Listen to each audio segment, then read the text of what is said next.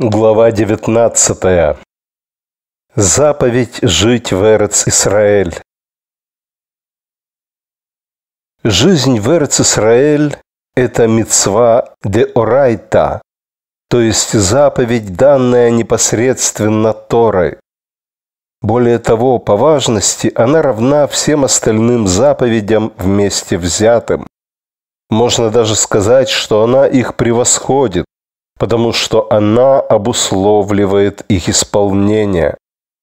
Тора говорит, когда Господь твой Бог истребит народы, к которым ты приближаешься, чтобы наследовать, ты изгонишь их и поселишься в их земле. Дворим 12.29. В этом стихе прямо упоминаются две заповеди, связанные с Эрц Исраэль. Первое – изгнать неевреев. Ивритское выражение, к которым ты приближаешься, чтобы наследовать, Онкилос переводит как «которым ты приближаешься, чтобы изгнать». Вторая заповедь – поселиться в их земле. Да, это заповедь жить в их земле, в Эрец Исраэль. Вот что говорят мудрецы по поводу этого стиха. Сифри Ри 80. Ты изгонишь их. Комментарий. Раби Иуда бен Бетера, Раби Матия бен Хереш, Раби Ханина бен Ахи, Раби Иошуа и Раби Йонатан покидали землю, прибыли в Палтум и вспомнили Эрец Исраэль. Тогда их глаза прослезились, они заплакали, разорвали свои одежды и произнесли стих «Ты наследуешь ее, землю, и поселишься в ней, и ты будешь неукоснительно хранить все законы». Дворим 11, 31, 32. Они вернулись в свое место и сказали, Жизнь в Эрец-Исраэль равна по важности всем заповедям Торы. Раби Лазар бен Шамуа и Раби Йоханан Гасандлер шли в Нецевим в дом Раби Иуды бен Бетеры, чтобы изучать у него Тору. Достигли Сидона и вспомнили Эрец-Исраэль. Их глаза прослезились, они заплакали, разорвали свои одежды и произнесли стих «Ты наследуешь ее и поселишься в ней, и ты будешь неукоснительно хранить все законы». Они вернулись в свое место и сказали «Жизнь в Эрц-Исраэль равна по важности всем заповедям Торы». Конец цитаты. Наши мудрецы ясно говорят, что жизнь в Эрец-Исраэль – это не просто заповедь, но заповедь огромной важности, равная всем остальным заповедям вместе взятым. Из этого отрывка четко видно, что заповедь жить в Эрец-Исраэль никак не связана с наличием или отсутствием храма. В конце концов, обе описанные истории произошли уже после разрушения храма. Ученые Мишны постановили, что жить в Эрец-Исраэль – это заповедь Торы, равно как и запрет покидать Эрец-Исраэль. Вот что говорят мудрецы Тосефта Авадазара 5.2. Человек должен жить в Эрец-Исраэль даже в городе, большинство жителей которого идолопоклонники, а не вне земли, даже в городе, который полностью еврейский. Это учит, что жизнь в Эрец-Исраэль равна по важности всем заповедям Торы вместе взятым. Если кто-либо похоронен в Эрец-Исраэль, это так же, как будто он похоронен под жертвенником. Человек не должен покидать Эрц-Исраэль, кроме случаев, когда цена пшеницы поднимается до двух мер сеа на одну монету села. Раби Шимон сказал, это относится к ситуации, когда человеку не хватает денег, чтобы купить еду. Но если у него есть деньги, то даже если цена составит одну сеа на села, он не должен покидать. Конец цитаты. Также говорил и раби Шимон, цитата, «Элимелех был одним из величайших светил поколения и лидеров общины, и поскольку он покинул Эрц-Исраэль, и он и его сыновья умерли от голода, тогда как весь Израиль выжил в своей земле, как сказано, весь город был взволнован о них. Руфь 1.19 Это учит, что весь город выжил, тогда как он и его сыновья умерли от голода. Теперь, когда говорится «Я безопасно вернулся в дом моего отца», Брешит 28-21, почему нужно добавлять «Тогда Господь станет для меня Богом» там же? Однако Тора говорит, чтобы дать тебе землю Ханаана, быть Богом тебе. Вайкра 25.38 Пока ты в Ханаане, я буду тебе Богом. Если ты не в Ханаане, я не Бог тебе. Также сказал и Давид, «Ибо они изгнали меня сегодня, чтобы я не прилепился к наследию Господа, говоря, «Ступай, служи другим богам». 1 Шмуэля 26.19 Могло ли тебе прийти в голову, что царь Давид – идолопоклонник? Нет. Но он объяснил так. «Всякий, кто отказывается от Эрц-Исраэль в мирное время и покидает ее, это так же, как если бы он служил идолам, как сказано, «Я посажу их в этой земле в истине со всем моим сердцем и всей моей душой». Ирмиягу 32, 41. Если они не в этой земле, они не подлинно посажены передо мной, не со всем моим сердцем и не со всей моей душой. Похожие слова мы встречаем и в Талмуде, Ктувот 110 бет. Равины учили, Человек должен всегда жить в Эрец-Исраэль, даже в городе, большинство населения которого идолопоклонники, и он не должен жить вне Эрец-Исраэль, даже в городе с еврейским большинством. Кто живет в Эрец-Исраэль, подобен тому, у кого есть Бог, а кто живет вне Эрец-Исраэль, подобен тому, у кого нет Бога как сказано, «Дать тебе землю Ханаана, чтобы быть тебе Богом». Вайкра 25.38 Неужели любой, кто не живет в Эрц-Исраэль, не имеет Бога?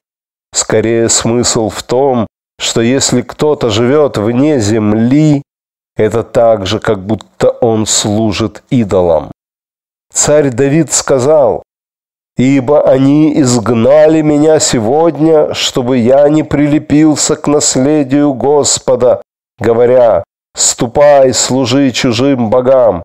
1 Шмуэля 26.19. Разве кто-то говорил, что царь Давид служил другим богам? Скорее это учит тому, что кто живет вне земли, это так же, будто он служит идолам. Конец цитаты. Кроме того, согласно мудрецам, муж может силой заставить жену отправиться в Эрец-Исраэль, чтобы выполнить заповедь. Более того, даже жена может заставить своего мужа, раб хозяина. В Мишне говорится, кто вот 110 бет, Любой может заставить переехать в Эрец-Исраэль но никто не может заставлять других покинуть ее. Талмуд так комментирует этот отрывок. Любой может заставить, включая рабов. Вот комментарий Раши. Если у человека есть раб-еврей, еврей должен следовать за ним против своей воли. Смотри, Ран, там же. Ран ссылается на Раавада, который утверждает, что раб даже хананейского происхождения может заставить своего хозяина отвести его в Эрец-Исраэль, поскольку даже он обязан выполнять заповеди аналогично женщине. Дальше в Талмуде говорится, «Равины учили, если муж говорит, что надо идти в Эрец-Исраэль, а жена говорит, что не пойдет, он заставляет ее пойти. В противном случае с ней можно развестись без компенсации. Если она говорит, что надо пойти, а он говорит нет, мы заставляем его пойти. В противном случае он должен развестись с ней и дать ей компенсацию. Если она говорит, что надо покинуть Эрец-Исраэль, а он говорит нет, мы заставляем ее не уходить. В противном случае она может быть разведена без компенсации. Если он говорит, что надо покинуть, а она говорит нет, мы заставляем его не уходить, либо развестись с ней и дать ей компенсацию. Конец цитаты. Это положение Мишны является законом на все времена, что подтверждают следующие поским, авторитеты. Рамбам, Ишут 13, 19, 20, Рив, Кетувод 110 бет, Рош, глава 13, Симан 18, Смак, запрещающие заповеди 81, Пискей Гарид, Кетувод, там же, Ритва, Ран, и Немукей Йосеф, там же, и многие другие. Причина проста. Заповедь жить в Эрец-Исраэль – это заповедь на все времена. Аналогичное постановление вынес Рав Йосеф Каро, Шулхан Арух Эвен Гаэзер 75.3.4. Вот что говорится в Питхейт Шува здесь же, Саиф Катан 6. Рамбан считал это заповедью в числе 613 заповедей, согласно месту. Наследуешь ее и поселишься в ней. Дворим 11.31. И она равна по важности всем остальным заповедям вместе взятым. Сифри Рей 80. Терумат Гадешен в своих постановлениях, Симан 88, подчеркнул важность этой заповеди. Исключение составляет Тософот на Ктувот от имени Раби Хаима Коэна. Впрочем, Махарит в своих ответах, Симан 28, и в своих хидушим, первоначальные мысли, на Ктувот доказал, что какой-то ученик по ошибке записал эту идею от имени Тософот и что цитата была совершенно неавторитетна. Махарит прав, и Нативот Мишпат указал на это же. Следовательно, эта заповедь действует во все времена, и это ясно следует из всех средневековых и более поздних мудрецов, которые постановляли, что мы заставляем жену идти в Эрец-Исраэль со своим мужем, как в простом тексте Мишны. Конец цитаты. А вот что говорится в Бава Кама 80 бет. Когда человек приобретает дом в Эрец-Исраэль, мы можем составить акт о покупке даже в субботу. Действительно ли мы можем записать это в субботу? Скорее, можно поручить сделать запись не еврею. И даже хотя поручать не еврею работу в субботу запрещено равинским постановлением, раввины не применяли этого постановления, когда речь шла о заселении Эрец-Исраэль. Конец цитаты. Раши комментирует Гитин 8 бет, то есть выслать народы и поселить здесь евреев. Рамбам, Илхот, Шаббат 6.11 вынес аналогичное решение в Шулхан Арух, Орах Хаим 306.11. Если бы заповедь жить в Эрц-Исраэль сегодня не применялась или была бы только раввинистической, то на каком основании мы разрешали бы то, что раввины запретили делать в субботу? В конце концов, в Тософот говорится Бава Кама 80 бет. Конкретно для этой заповеди жить в Эрец-Исраэль можно, но для других заповедей поручать нееврею нарушить Тору не разрешается. Конец цитаты.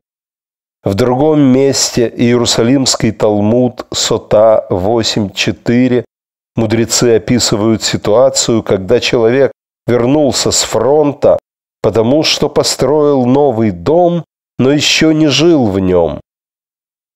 Цитата. «Я мог бы подумать, что некто, кто построил новый дом вне земли, должен вернуться с фронта. Поэтому говорится, и не начал жить в нем. Дворим 25. Этот стих говорит о человеке, для которого жить в нем является заповедью и исключает все прочее. Конец цитаты. Пней Моше комментирует там же, человек, для которого это является заповедью, в Эрец Исраэль по причине заповеди жить в земле. Это исключает то, что вне земли, где нет заповеди жить. Конец цитаты. Этот же закон применим и к ситуации, когда человек посадил виноградник. Иерусалимский Талмуд Сота 8.5. У Рамбама читаем Хилхот Мелахим 7 дробь 14. Также сказано, Очистите землю и живите в ней. Бамидбар 33-53. Рамбам комментирует там же. По моему мнению, это является предписывающей заповедью Торы. Тора заповедует им жить в земле и очистить ее, поскольку Он дал ее им, и они не должны презирать Божье наследие. Если бы им когда-нибудь пришло в голову пойти и завоевать Сеннаар, Ассирию или какую-то другую землю и заселить ее, они бы нарушили заповедь Бога. Наши мудрецы придавали большое значение заповеди жить в земле и запрету покидать ее, считая мятежным человека, который отказывается сопровождать супруга или супругу в Эрц-Исраэль. Мятежность является основанием для развода. Причина в том, что здесь, Бамидбар 33-53, мы получили в этом отношении заповедь, и этот стих является предписанием, повторяющимся во многих местах. Например, «Придите, заселите землю», Дворим 1.8. Последняя цитата – часть фрагмента из Дворим 1.7.8. «Повернитесь и обратитесь в сторону Амурейских гор. Смотрите, я поместил землю перед вами. Придите, заселите землю, которую Господь поклялся дать вашим отцам и их потомкам после вас. Рамбан комментирует, это заповедь, а не просто обещание, как я и объяснил. Бемидбар 33.53, цитата выше. Далее Рамбан пишет «Север Гамицвод, предписывающие заповеди, забытые Рамбамом, Мицва 4. Нам было заповедано заселить землю, которую Бог дал нашим предкам Аврааму, Ицхаку и Якову. Бог сказал, «Овладейте страной и поселитесь в ней, потому что я отдаю вам эту страну, чтобы вы овладели ею. Разделите страну». Бамидбар 33, 53, 54. Доказательством того, что это заповедь, являются слова Бога в эпизоде с разведчиками. «Идите на север и заселите ее, как Господь Бог ваших отцов сказал вам. Не бойтесь и не беспокойтесь». Дворим 1.21. Далее говорится, «В Кодес Варни Господь послал вас вперед и сказал, «Идите на север и заселите землю, которую я дал вам». Дворим 9.23. А относительно нежелания разведчиков идти в землю сказано «Вы восстали против Господа». Дворим 1.26, 43, 9.23. И вы не хотели слушать. Дворим 1.43. Божье слово Израилю было заповедью, а не обещанием. Конец цитаты. Настолько много наши мудрецы говорили о жизни в Эрец-Исраэль, что в Талмуде сказано «Ктувот 110 бет». Кто покидает Эрец-Исраэль и живет вне ее, должен рассматриваться как идолопоклонник. Цитата. «Они изгнали меня сегодня, чтобы я не прилепился к наследию Господа, говоря, «Иди служи другим богам». 1 Шмуэля 26.19. Конец цитаты. Это и другие подобные выражения происходят из заповеди «заселить землю и жить в ней». Итак, это предписывающая заповедь на все времена, и каждый еврей обязан ее исполнять, даже при изгнании, как Талмуд постановляет во многих местах, как известно. Конец цитаты. Итак, мы видим, Бог не только дал еврейскому народу особую землю, но также предписал жить в ней. Жить в земле – это не только право, но и долг, уклоняться от которого мы не имеем права. Бог заповедал нам жить в Эрец-Исраэль под Его владычеством, освящая Его имя, создавая святое государство и общество, точно исполняющее Тору, вне досягаемости чужих культур. В то же время, когда человек отказывается жить в Эрц-Исраэль, предпочитая развращенный образ жизни других народов, он совершает непростительный, тяжелейший грех. По сути, это Хилул Ашем, поскольку Израиль начинает перенимать мерзости народов. Вот почему неудивительно, что в пустыне Бог разгневался на наших предков, когда они отказались пойти в Эрец-Исраэль. Цитата. «Давайте выберем нового вождя и пойдем обратно в Египет». Бемидбар 14.4. Разведчики, которых Моше послал разведать Ханаан, были видными и праведными людьми. Танхума Шелах 4. Цитата. «Пошли людей» Бемидбар 13.2. Комментарий.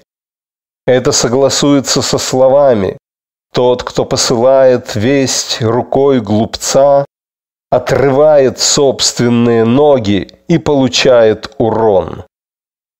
Мишли 26.6. Были ли разведчики глупцами? Тора сказала, «Пошли людей Анашим». И Анашим всегда означает праведных людей. Скорее, они были названы глупцами только потому, что оклеветали землю. Тем не менее, это были великие люди, сделавшие себя глупцами. Конец цитаты. В Торгум Йонатан, стих Бемидбар 13.3 «Все эти люди были вождями народа Израиля». Передан так. «Все были мудрыми людьми, которые были назначены главами народа Израиля». Конец цитаты. Итак, это были великие праведники, однако даже они согрешили, когда отказались от Эрец Исраэль решили устроиться в изгнании в Египте. Царь Давид сказал, «Они презрели желанную землю, они не верили его слову». Таилим 106, 24. Мы видим, что даже великие светила того поколения стали глупцами. Они презрели желанную землю и решили вернуться в Египет.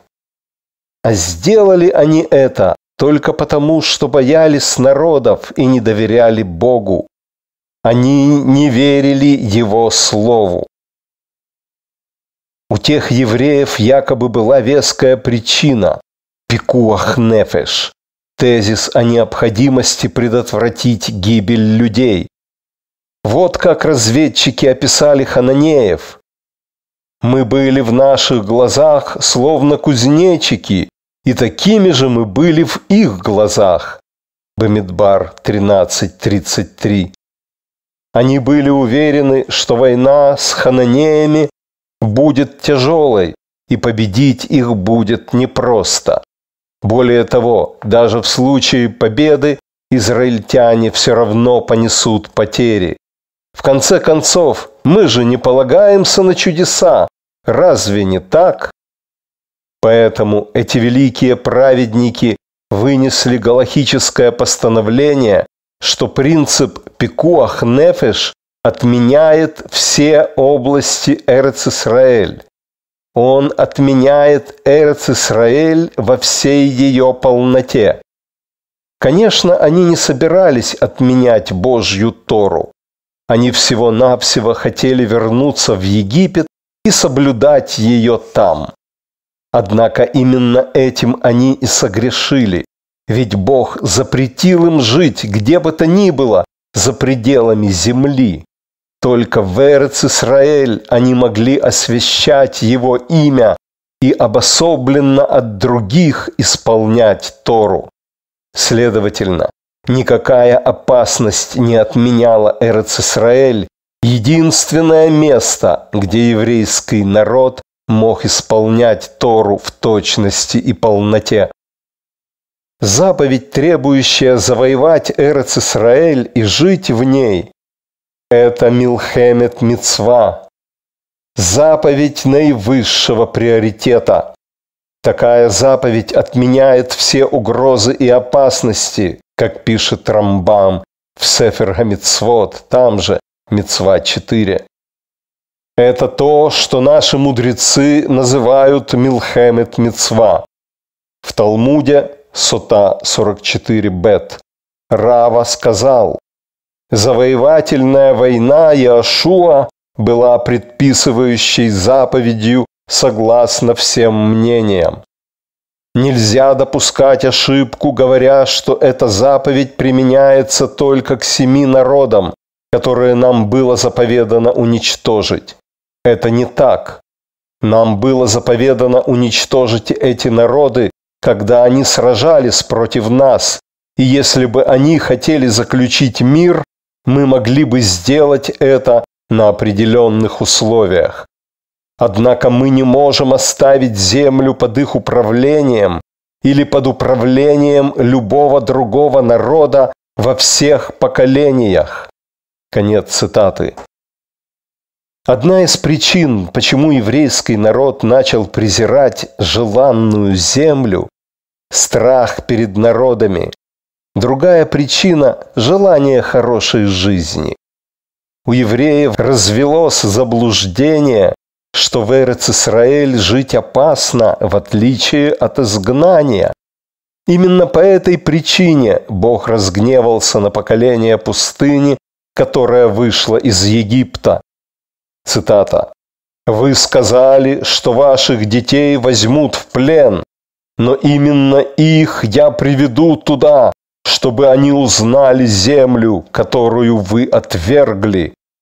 Бамидбар 14.31 Все, кто боялся идти в Эрец-Исраэль из страха смерти, умерли в пустыне, тогда как их дети вошли в землю и выжили. Этот пример учит нас тому, что Эрец-Исраэль – единственное безопасное место для еврейского народа, тогда как изгнание – их могила. Мудрецы пишут, Торат Куаним, Бехукатай, глава 1. Вы будете жить безопасно в своей земле. Вайкра 26.5. В вашей земле вы будете жить безопасно, а не вне ее. Конец цитаты. Похожим образом выразился и Авадия, стих 17. «На горе Сион будет избавление». Другими словами, в Сионе, а не в изгнании. Бог, лучше кого бы то ни было знающий менталитет своего народа, прекрасно понимал, что Израиль всегда будет предпочитать нееврейский образ жизни изгнания с его мерзостями. Об этом написал еще царь Шломо, Мишли 9.17. Украденные воды сладки, и хлеб, съеденный в тайне, приятен.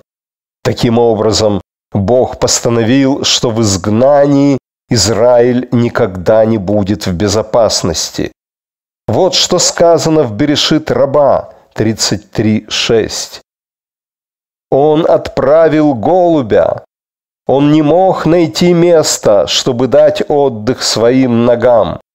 Берешит 8, 8, 9.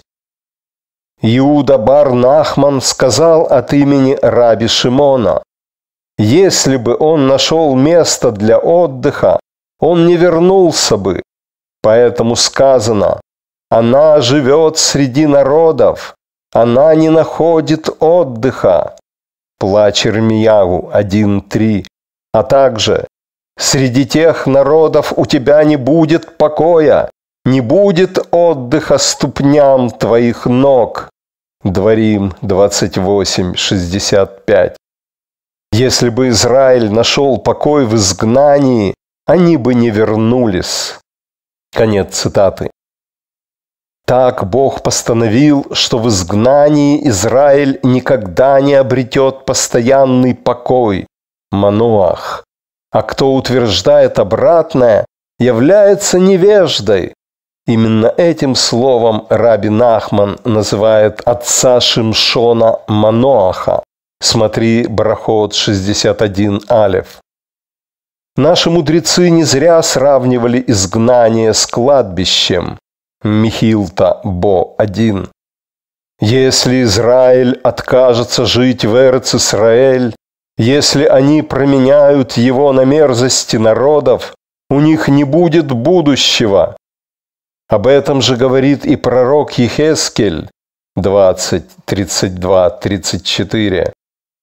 То, что приходит вам на ум, не сбудется. Ваше желание мы станем как народы, чтобы служить дереву и камню. Жив я, говорит Бог, с могучей рукой, распростертой рукой, и с излитой яростью я буду царем над вами. Я удалю вас из народов и соберу вас из стран, где вы были рассеяны могучей рукой, распростертой рукой, и с излитой яростью. Конец цитаты. Говоря, что израильтяне будут служить дереву и камню, Ехескель не имел в виду, что они в прямом смысле будут служить идолам. Эта фраза согласуется с переводом Онкилоса, выше приведенного стиха Дворим 28.64. Там вы будете поклоняться народам, которые поклоняются идолам. Иными словами, Израиль не обязательно сам начнет поклоняться идолам, но он начнет служить не евреям, которые им поклоняются. Подобное преклонение перед народами – это страшный хилул Ашем, ведь получается, что идолы как бы победили Бога. В таком же ключе этот стих перевел и Йонатан. «Вы будете платить налоги идолопоклонникам». Другими словами, не народы служат Израилю в Эрец Исраэль, но Израиль служит им.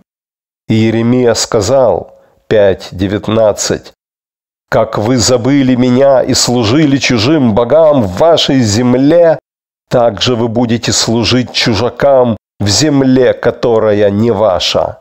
Конец цитаты. Сегодня место идолопоклонства заняла мировая культура, так что Божий запрет удалиться от народов по-прежнему актуален. Бог говорит, «С излитой яростью я буду царем над вами». Ехескель 20.33. Он имеет в виду, что он силой выведет Израиль из изгнания, по крайней мере тех, кто не погиб от руки Бога, подобно упрямым евреям в Египте, и прошел через все ужасы изгнания. Как известно, последнее избавление будет подобно первому. Горе упрямым детям, дерзнувшим убежать от Бога из Эрец Исраэль. Они вообразили, что потеряли свою родину, Эрец Исраэль, и теперь можно спокойно устроиться в изгнании. О таких сказано «Я рассею их среди народов, которых не знали ни они, ни их отцы, и я пошлю на них меч, пока не пожру их». Ирмиягу 9.15. Да смилостивится над нами Бог! Другая причина, по которой Израиль утратил свои ценности и эмоциональную связь с сердцем Израиль – искажение изгнанием Галахи. Мы стремились избежать трудного выбора, связанного с необходимостью изолироваться от народов, и зарабатывать свой хлеб самостоятельно. Вспомним высказывание мудрецов. Брахот 5 алев. Бог дал Израилю три отличных подарка, и все посредством страдания. Тору, Эрец Исраэль и будущий мир. Конец цитаты. Вся жизнь человека это испытание, сможет ли он принять ярмо неба из заповедей. Чтобы получить что-то ценное, нужно сначала заплатить за это высокую цену. Эрец Исраэль – это очень ценный подарок, и он требует самопожертвования, так украшающего избранный народ. Где бы мы ни были, Везде мы обязаны доказывать нашу веру и доверие к Богу. Тем более это касается Эрц-Исраэль, избранной земли, символа изоляции Израиля, согласно Дворим 32.12. Господь один ведет их. Но нет, снова и снова мы оказываемся неспособны выполнить эту миссию. Танхума Тазрия 6. Комментарий. Коэн, который смотрел пятна проказы, смотри, Вайкра 13, стал беден и решил покинуть землю. Он позвал свою жену, сказав, «Я научу тебя, как смотреть пятна проказы. Если ты видишь, что источник на волосах человека высох, ты понимаешь, что он поражен, ибо Бог создал в каждом волосе источник, из которого можно пить. Его жена ответила, если Бог создал для каждого волоса свой собственный источник, то тем более Он предоставит пропитание тебе, человеческому существу, у которого много волос, а также детям, которых ты обеспечиваешь. Таким образом, она не позволила ему покинуть землю. Конец цитаты. Неверие в Божью способность защищать нас – наша древняя болезнь, имеющая многовековую историю. С древних времен эта чума мешала нам исполнять великую заповедь «жить в земле». Мы всячески искажали эту заповедь, придумывая себе тысячи отговорок и оправданий. В дни судей Миха поставил у себя дома идола и нашел человека, который согласился стать его жрецом. Если верить мудрецам, это был внук Моше, сын его сына Гершома. Когда его спросили, почему он на это согласился, он ответил, Бава Батра 110 Алев. Такова традиция, которую я получил от дома моего деда. Лучше заняться идолопоклонством, а вода зара, чем зависеть от милостыни.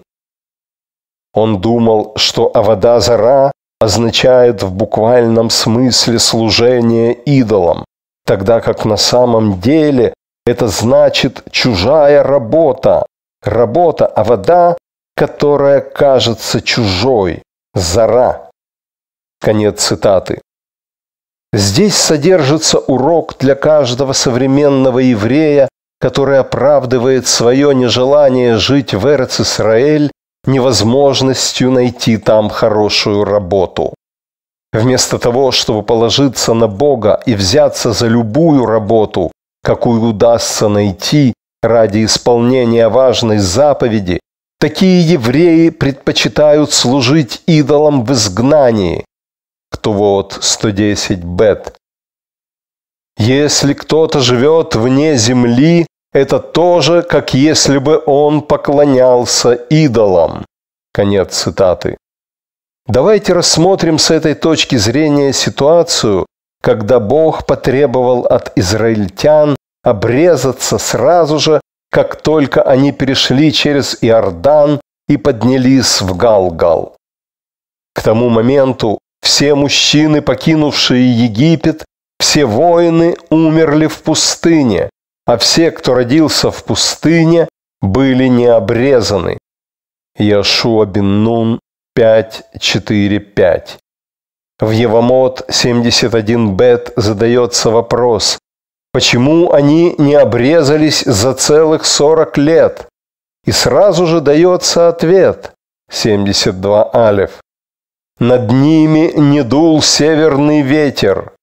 Все эти годы а без северного ветра обрезание представляет опасность. Почему так? Возможно, в качестве порицания, а возможно, чтобы не рассеялись облака славы. Конец цитаты. Второй вариант объяснения кажется сложным для понимания. Разве возможно, что ради сохранения облаков славы Бог отменил великую заповедь обрезания. Радак объясняет, Иошуа бин Нун 5.2. Можно предположить, что Бог мог привести северный ветер и при этом не рассеивать облака славы и не отменять заповедь обрезания. Однако эта заповедь была не отменена, но лишь отсрочена, и Бог не стал изменять законы природы просто чтобы обойти эту отсрочку. Конец цитаты. Странно. Радак говорит, что Бог решил не наводить северный ветер, чтобы не нарушать законы природы. Но разве прекращение ветра на 40 лет не является гораздо большим нарушением этих законов? Для меня абсолютно очевидно, что Бог специально, несмотря на огромную важность обрезания, отсрочил его, чтобы все израильтяне смогли исполнить эту заповедь одновременно при входе в землю обетованную. Обрезание всегда сопровождается болью и кровью, что символизирует самопожертвование и веру в Бога. Здесь мы видим урок. Чтобы обрести Эрец Исраэль, мы должны пройти через страдания. А объединив две заповеди, обрезание и Эрец Исраэль, Бог отделил еврея и Израиль от народов. Как мы могли отказаться от этой великой заповеди? Как случилось, что страдания, связанные с Эрц Исраэль, перевесили для нас ценность этого подарка от Бога? Вермиягу 3.19 говорится «Я дал вам желанную землю». Проклятое изгнание так прочно вошло в наш народ, что мы не только не стремимся покинуть его, но даже уже не считаем его наказанием. Какое чудовищное извращение! Действительно, еврейский народ стал народом глупцов. Они не хотят видеть правду, как разведчики Ханаана. Как они могут наслаждаться богатством и комфортом изгнания и одновременно повторять праздничную молитву Мусав? Из-за наших грехов мы были изгнаны из нашей земли. Как они вообще объясняют для себя слова мудрецов Великого Собрания, учредивших эту молитву? Глупый народ! Как актуально звучат сегодня слова наших мудрецов. Сифри Эков 43. Земля не даст свои всходы. Дворим 11.17. Комментарий. Следует ли тогда покидать землю и наслаждаться изобилием? Поэтому сказано, Дворим 28.23. Небеса над тобой станут, как медь, и земля под тобой будет как железо. То есть даже в изгнании.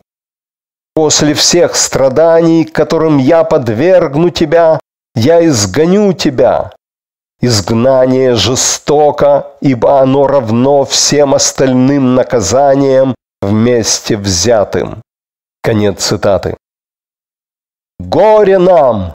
Мы стали жертвами людей, которые исказили Тору и сами искажены изгнанием. Такие люди любят цитировать Псахим 67 бет. Бог совершил милосердное деяние для Израиля, ибо Он рассеял их среди народов. Из этого стиха они делают вывод, что изгнание является милосердным даром Бога. Возможно ли более ужасное извращение? Любой ребенок знает, что в Торе изгнание предстает как страшное наказание за страшные грехи. Во втором абзаце молитвы Шма, которую мы читаем дважды в день, сказано «Вы быстро исчезнете из доброй земли, которую Господь дает вам». Дворим 11.17. Именно ответом на этот стих является вышеприведенное изречение мудрецов. Об этом же мы читаем в страшном Тохаха из Вайкра 26, 33, 36. «Я рассею вас среди народов и подниму против вас меч. Я сделаю небезопасной жизнь тех из вас, кто выживет в земле ваших врагов. Об этом же говорится и во Второзаконии 28, 64, 65. Господь рассеет вас среди народов от одного конца земли до другого. Среди тех народов вы не будете чувствовать себя в безопасности, и не будет отдыха вашим ногам.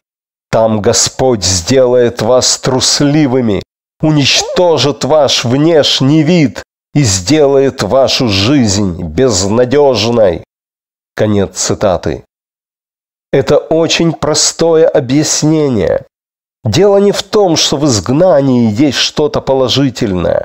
Это наихудшее наказание из возможных. А в том, что в нем есть элемент «милосердия» в кавычках. Раз уж Бог приговорил нас к изгнанию, то хотя бы мы рассеяны по миру. Почему? Чтобы народы не смогли уничтожить их всех сразу. Раши там же.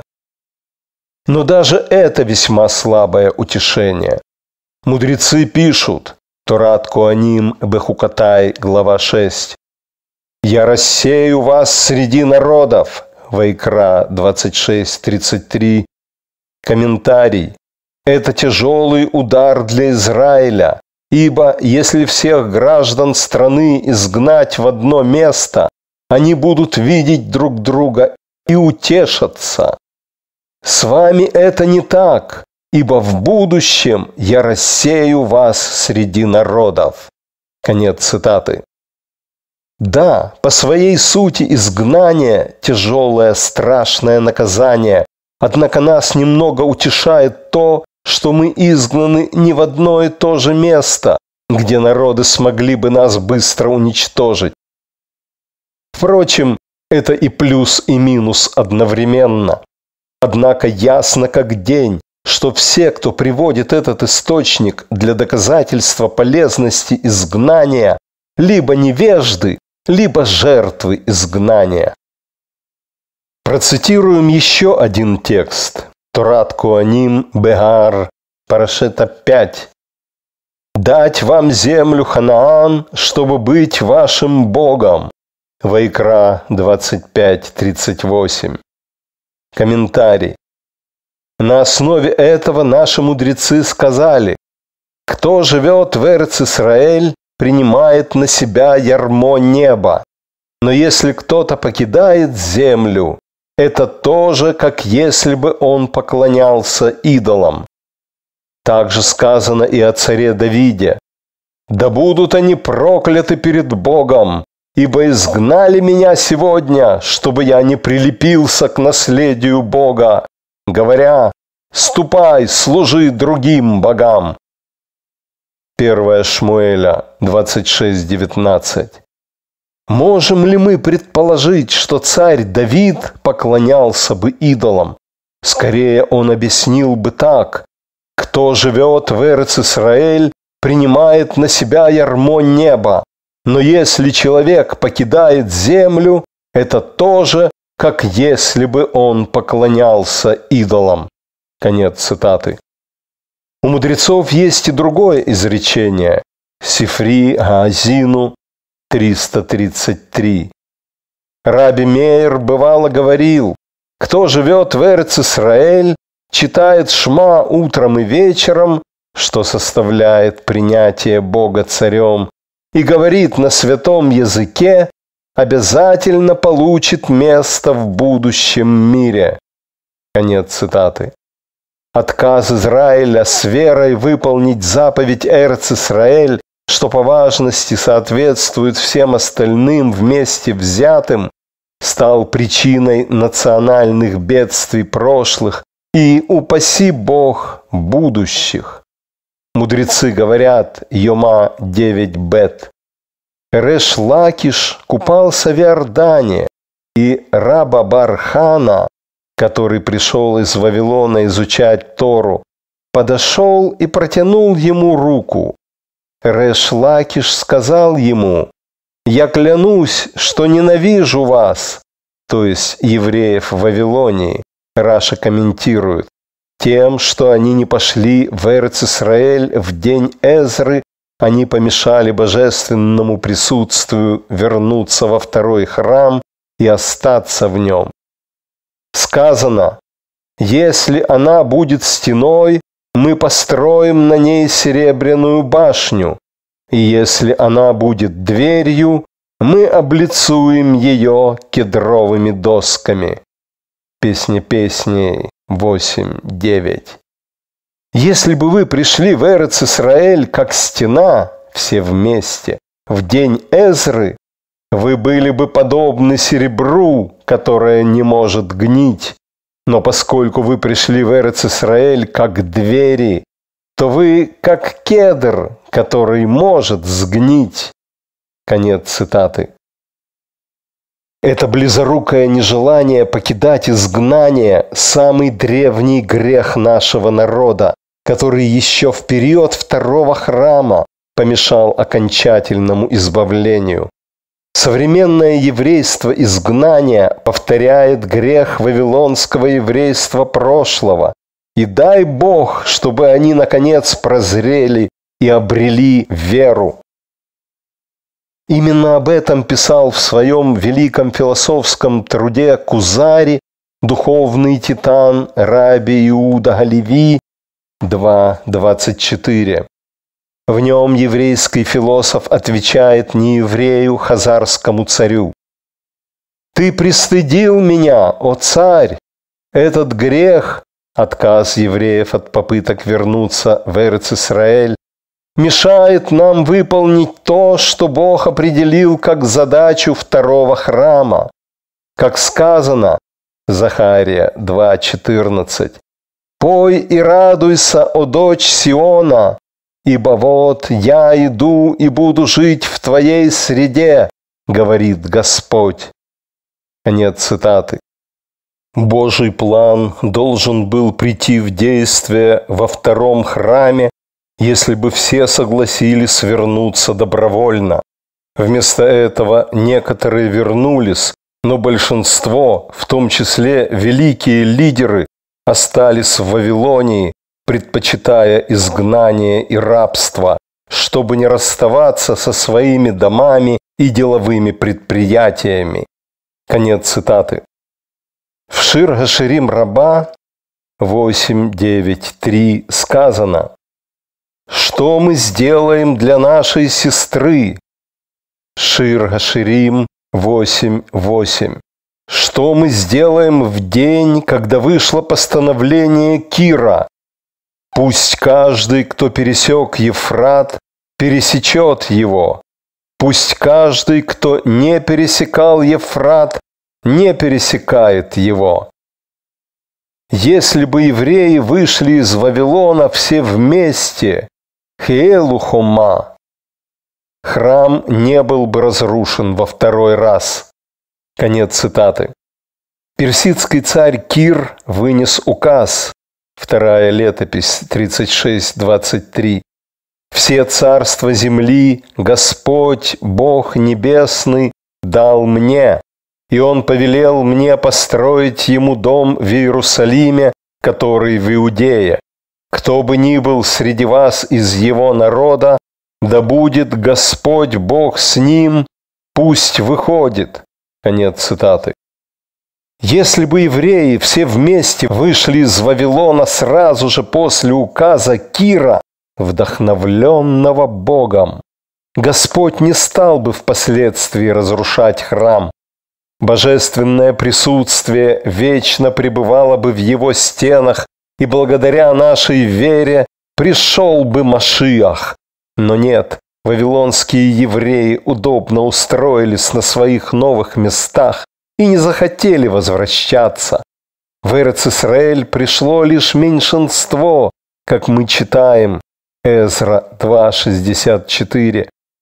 Вся община составляла 42 360 человек. Вот такое ничтожное число людей вернулось в Эрцисраэль, тогда как подавляющее большинство предпочло комфорт изгнания и презрела обетованную землю.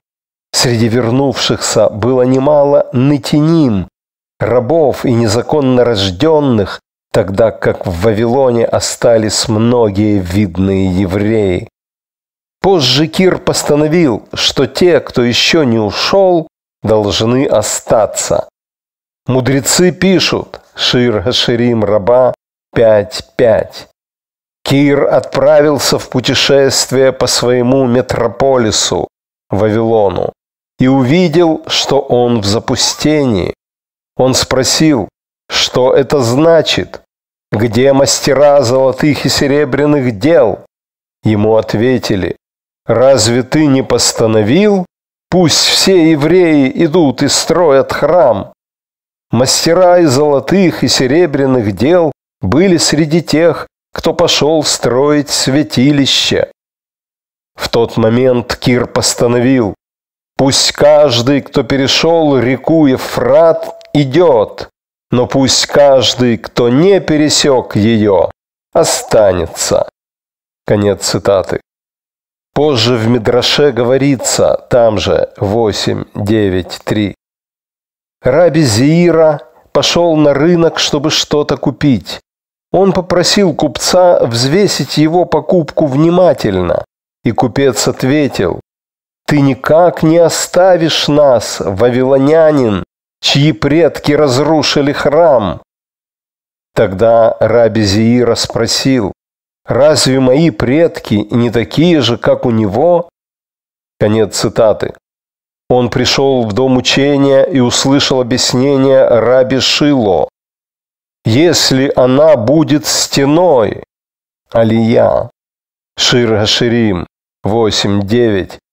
Если бы Израиль пришел вместе, буквально как стена, из изгнания, храм не был бы разрушен во второй раз. То есть Раби Шило дал тоже объяснение, что и купец на рынке. Раби Зии рассказал, «Невежда преподал мне хороший урок». Конец цитаты.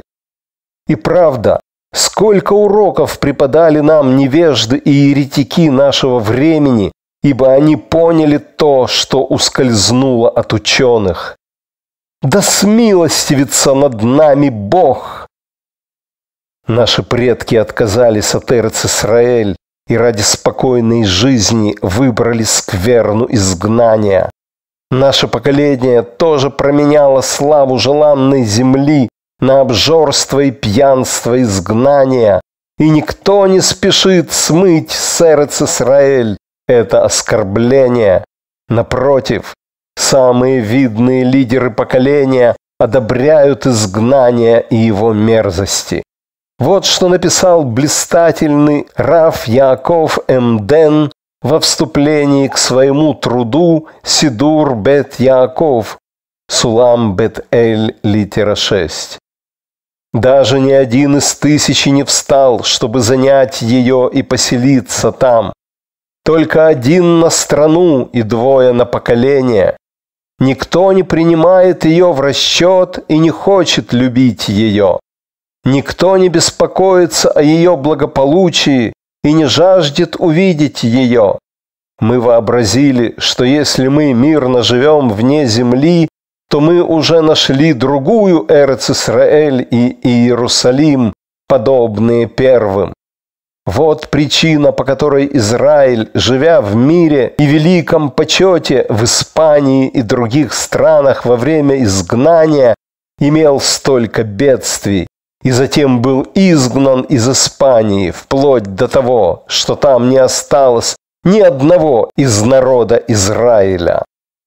Конец цитаты. Эти слова Раф Яков Эмден записал в проклятой Германии несколько веков назад. Кто к ним прислушался? Кто принял их за руководство к действию?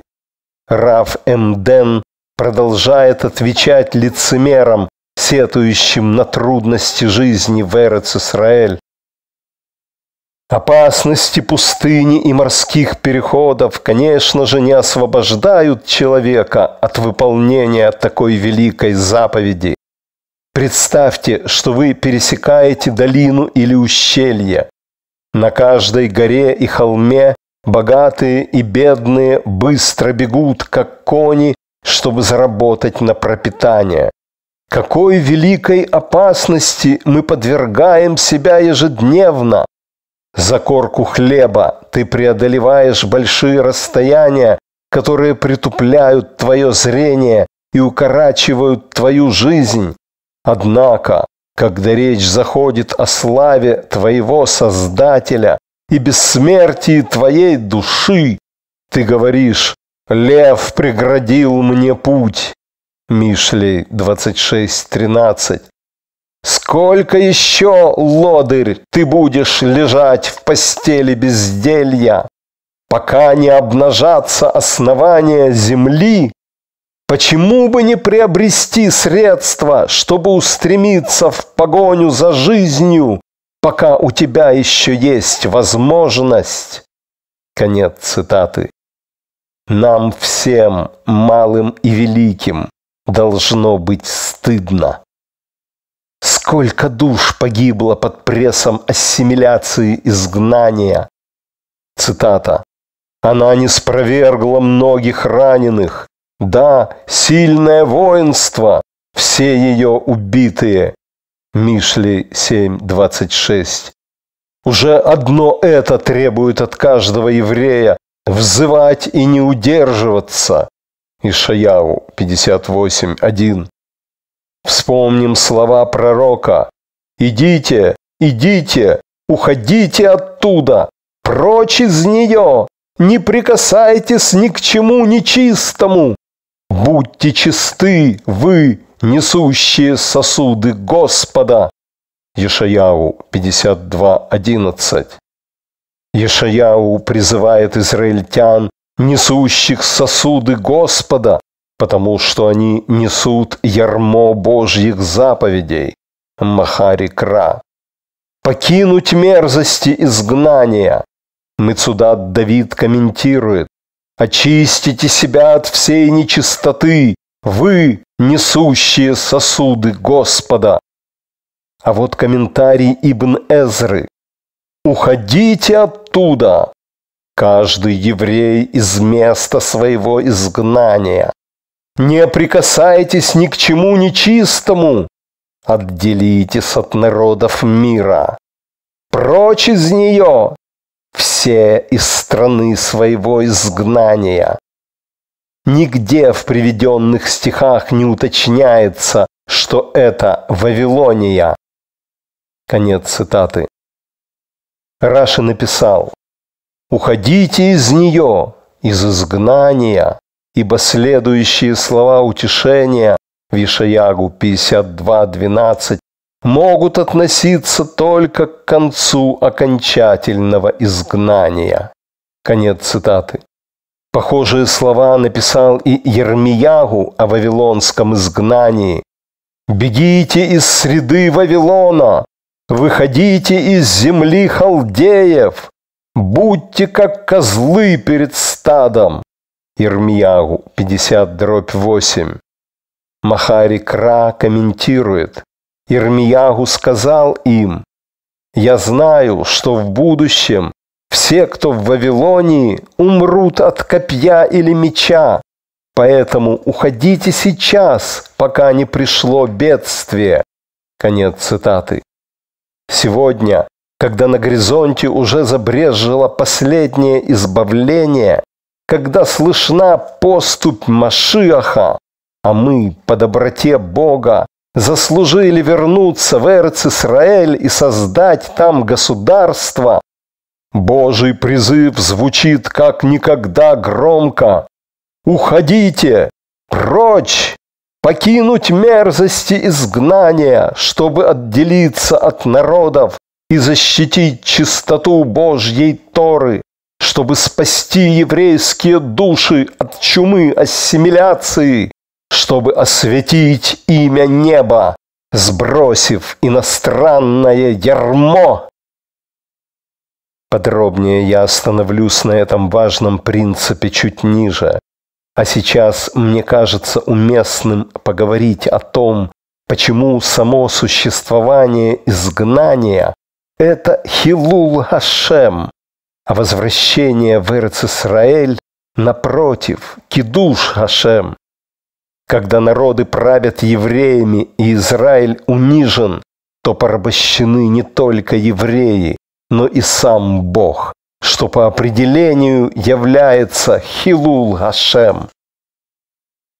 Я уже ссылался на мнение Раши о стихе Ехескель 39.7. Мое святое имя я сделаю известным среди моего народа Израиля. Я больше не буду терпеть, что мое святое имя хулится.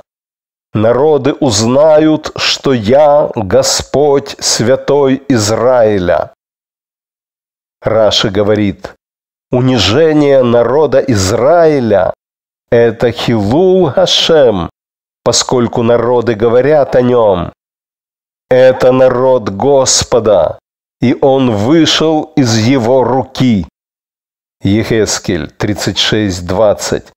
Однако он не может спасти их.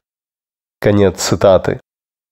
Сам факт завоевания Эрц-Исраэль народами и изгнания из него Израиля позволяет нееврею сделать вывод, что в Израиле нет Бога. Если бы он там был, и если бы он был всемогущ, он бы не позволил народам разрушить страну и храм и изгнать свой народ. Даже если израильтяне и не страдают от руки неевреев, сам факт, что они вынуждены жить в их стране и зависеть от их доброй воли, уже является Хилул Хашем. Израиль только тогда сможет осветить Божье имя, когда обретет суверенитет и собственную землю. Но если он будет и дальше упорно отказываться покинуть изгнание, то Бог в гневе закончит его, чтобы положить конец Хилул Хашем. Самое лучшее время убежать, пока не наступило бедствие. Одним словом, сама мысль о подчиненности Израиля другим народам и их культурам по определению является Хилул Хашем. Она противоречит воле Бога, требующей создать избранный, драгоценный народ в избранной, драгоценной земле, в которой Израиль будет отделен от народов и их культур. Только там он сможет жить согласно Торе, в ее незапятнанной первозданной чистоте. Только там сможет создать независимое государство и общество под Божьим владычеством. И вот это уже кидуш Хашем. Каждый еврей обязан жить в Эрец-Исраэль, потому что жизнь в изгнании противоречит Божьей воле и оскверняет ее. Это священный долг каждого еврея.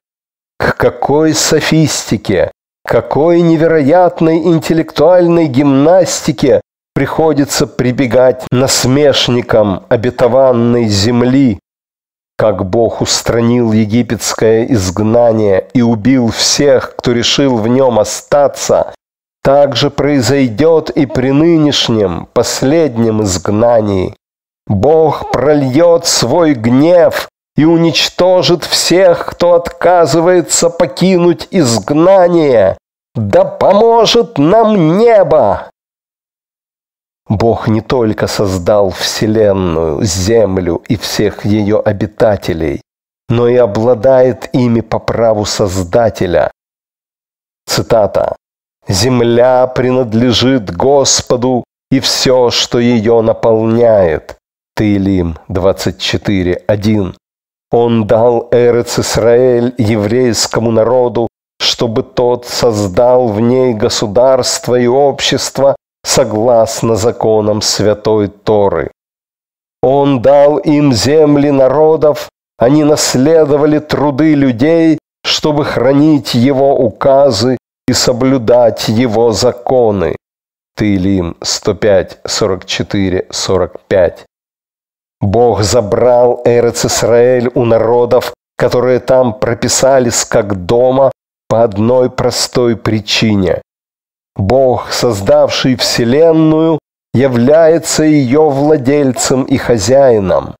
Он приобрел себе Вселенную актом ее сотворения, и люди, которые тоже являются творением Бога, это квартиранты в Божьем доме, и не им указывать Богу, как поступать. Если Бог захочет, Он может поселить определенный народ в определенной земле. И если захочет, выселит его оттуда, и никаких самостоятельных прав на землю ни у кого нет. Мудрецы говорят об этом так. Песикта Дерав Каана, 15, Эхо, страница 123. Поэтому так говорит владыка Господь воинств Ешаяу 1.24. Шмуэль Барнахмени сказал, везде, где написано «владыка», «аддон», речь идет о том, что Бог искореняет жителей из их домов и заменяет их другими.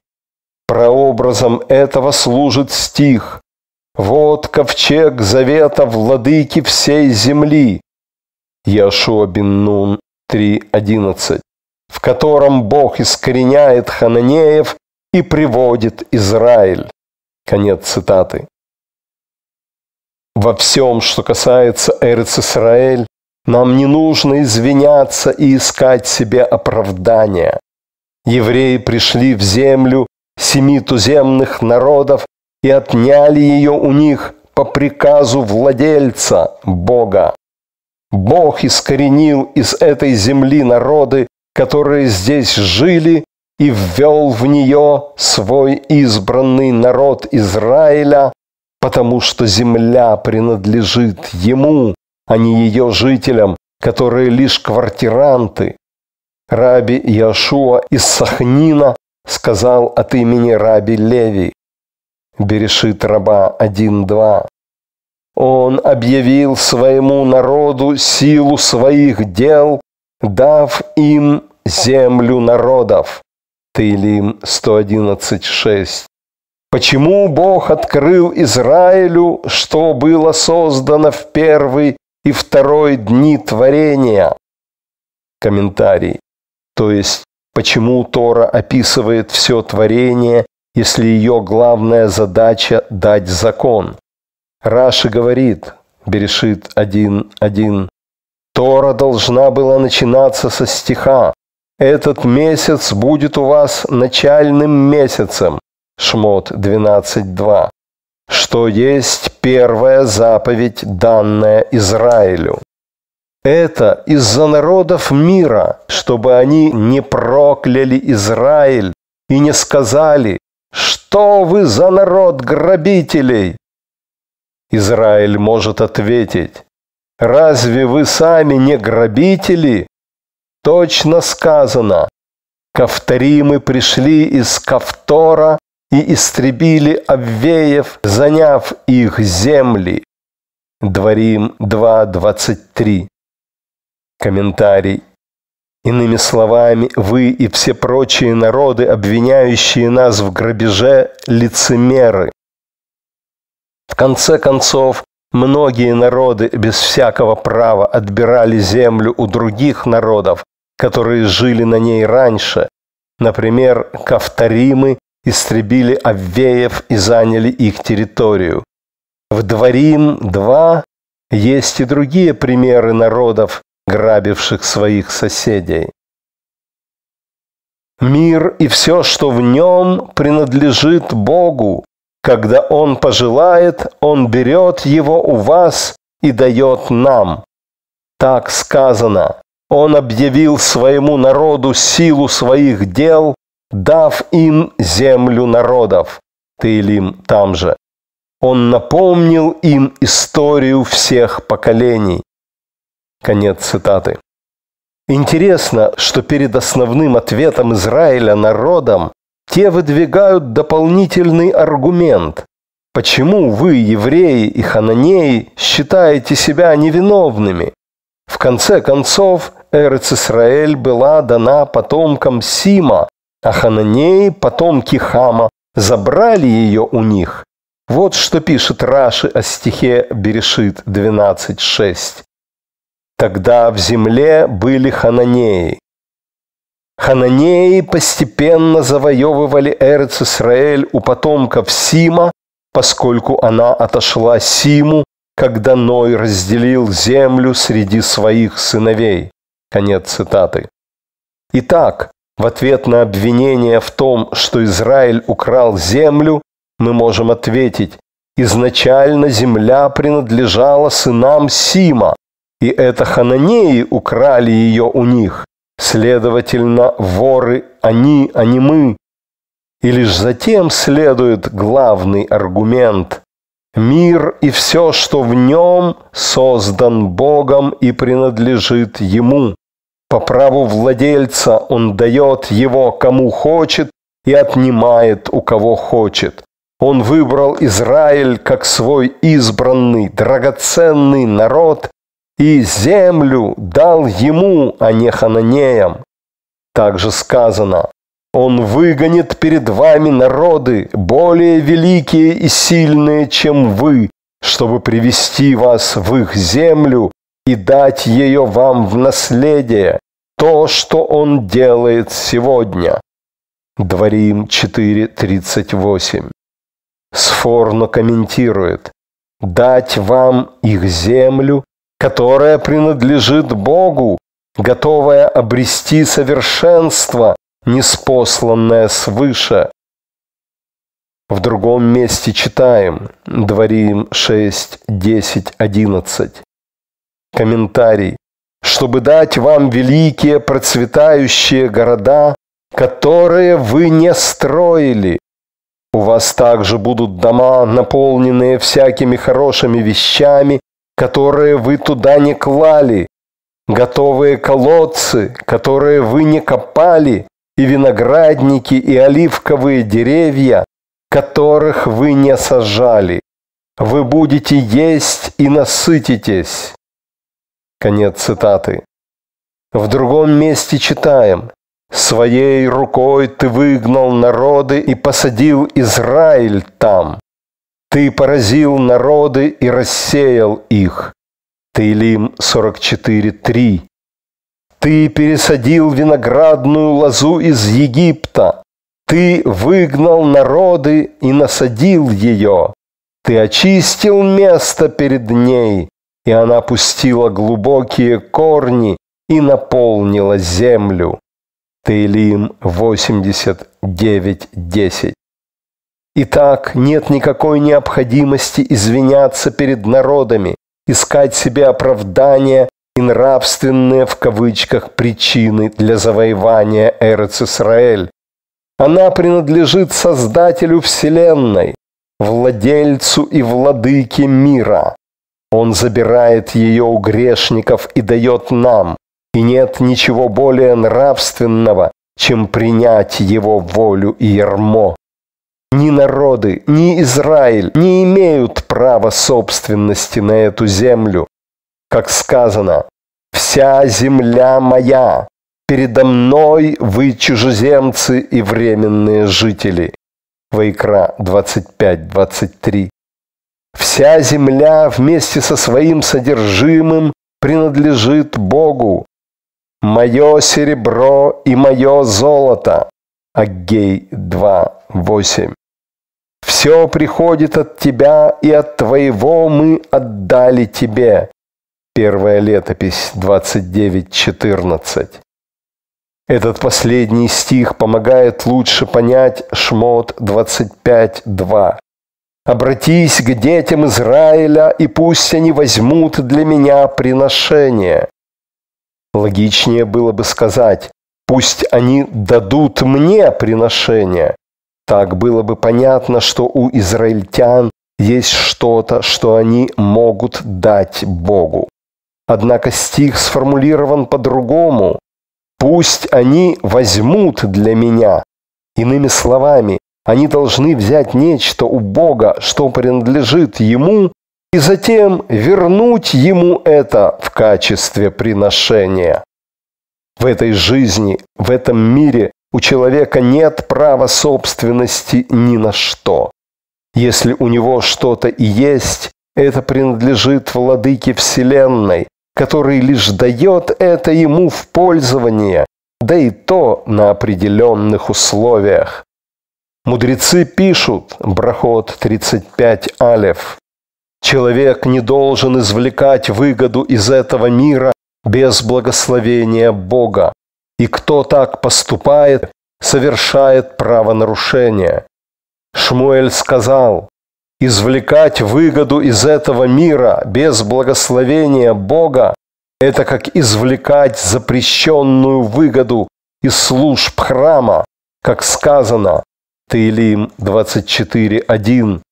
Господу принадлежит земля и все, что ее наполняет. Конец цитаты. Раби Леви обратил внимание на противоречие. Сказано, Господу принадлежит земля и все, что ее наполняет, и при этом небеса принадлежат Господу, но землю Он дал человечеству. Таилим 115.16. Первое относится к ситуации, когда человек еще не произнес благословение. Последнее, когда уже произнес. Цитата.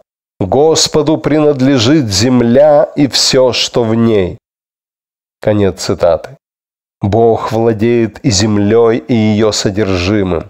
При этом Бог позволяет человеку пользоваться его собственностью при условии, что он будет признавать имущественное право Бога через благословение.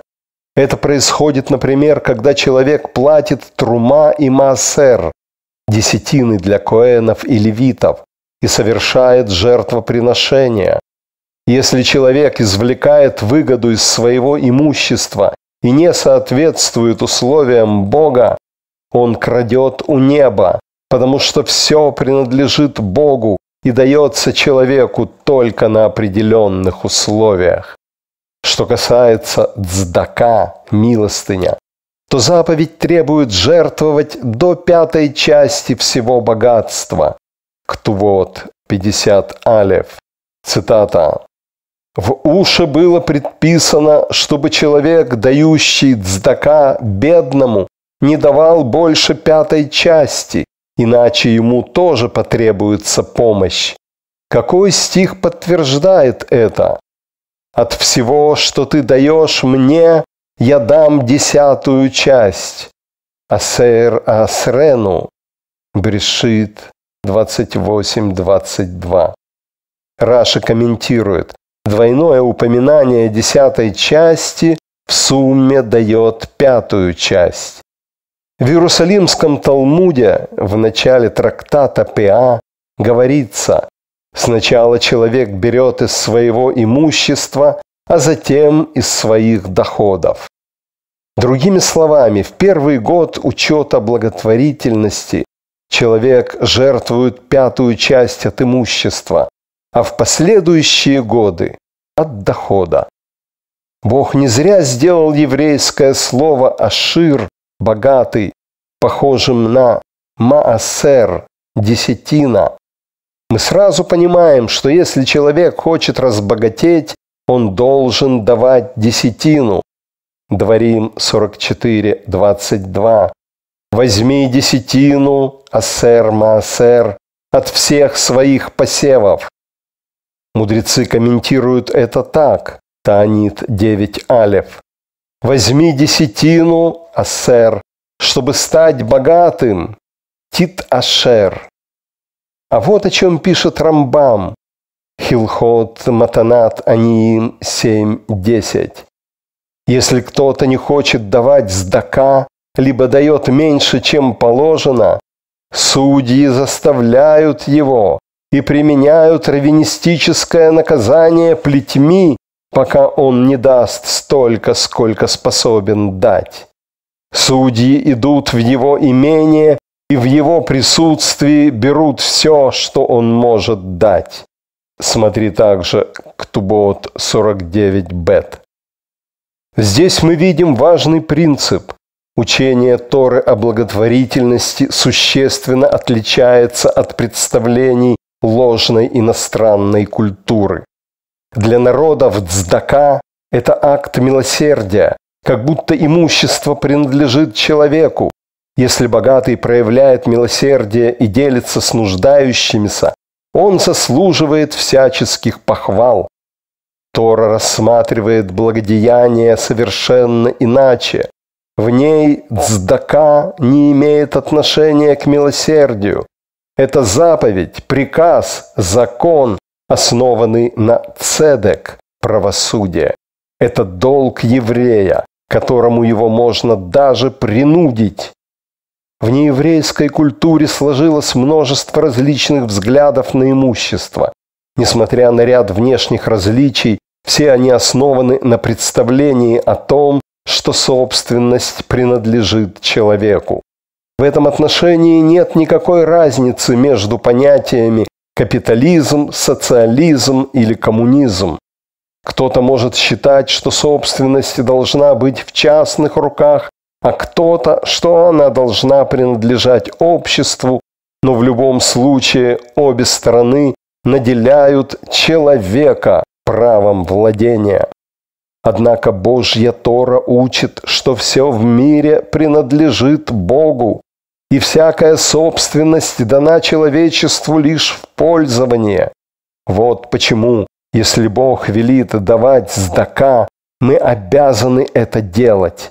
Цдака вообще не имеет отношения к тому, чем человек обладает, поскольку он этим и не обладает вовсе, но получил в пользование. А раз так, то мы заставляем человека отдать то, что велит Божья цедек, справедливость. Об этом мудрецы говорят в Авод 3.7. «Отдай Богу то, что принадлежит Ему, ибо и ты, и все, что у тебя, Его». А вот о чем сказано в Таранит Кааним, Беар 4.8. «Земля моя». Вайкра 25-23. Комментарий. «Не презирай ее». Цитата. «Ибо вы чужеземцы и временные жители».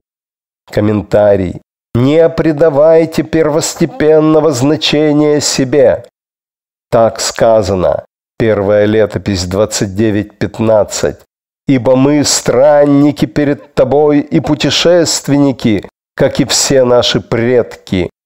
Конец цитаты.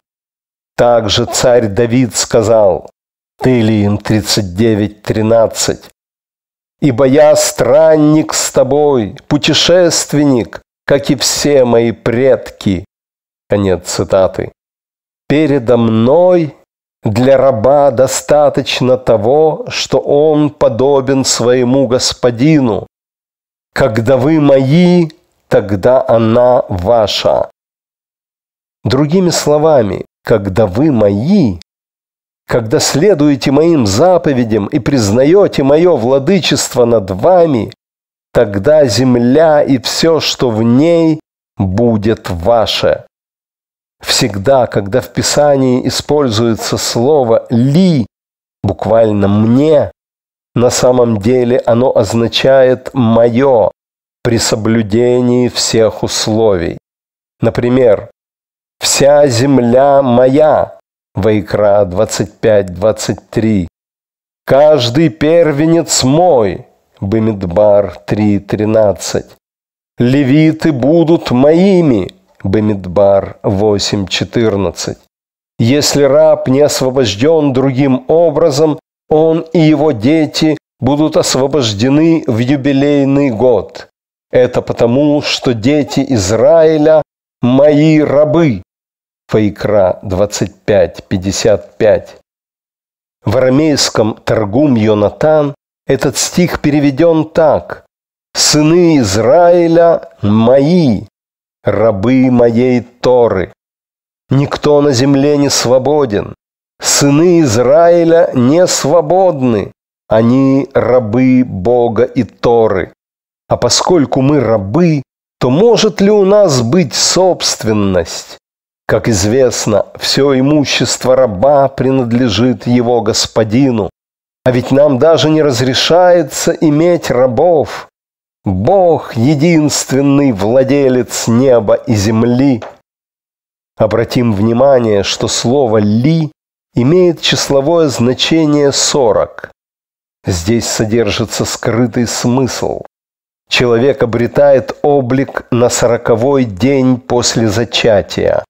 Брахот 60 алев. Тора была дана спустя 40 дней. Наказание состоит из сорока ударов. Сорок дней длился потоп. Еврей должен понимать, что все, мир, наказание, даже он сам, всем этим владеет Бог, и все это ли 40. Вспомним стих Шмот 25.2. Пусть они возьмут для меня приношение. Дат закиним бхалии атосафот так комментирует этот стих. Этот раздел был произнесен в течение сорока дней, когда была передана Тора. Конец цитаты. Так или иначе, теперь нам ясно, что Эрц Исраэль – это Божья собственность, данная Израилю в наследие, где он может отделиться от других народов и создать совершенное общество Торы. Это место, где Израиль будет защищен от губительного влияния иностранной культуры. Бог взял землю у народов, удалил их и привел на их место Израиль, чтобы он хранил его Тору и заповеди. В тот момент, когда Бог решил дать землю своему народу, она стала Эрец Исраэль, земля народа Израиля. Это Божья земля, которую Он дал Израилю в качестве святой земли. Каждый еврей обязан жить в Эрц-Исраэль. Это его священный долг. Если он живет вне Эрц-Исраэль, он совершает Хилул Хашем. Поскольку Бог повелел Израилю отделиться от народов и их культур, в Эрц-Исраэль нет места не еврею, за одним лишь исключением, если он не претендует на суверенитет и управление землей. Никакой не еврей не имеет ни малейшего права собственности на Эрец-Исраэль. Более того, если не еврей отвергает Божий суверенитет и право его народа Израиля владеть землей в ее полноте, он восстает против Бога и хулит его имя. В таком случае у него есть только две альтернативы. Либо покинуть землю, либо умереть.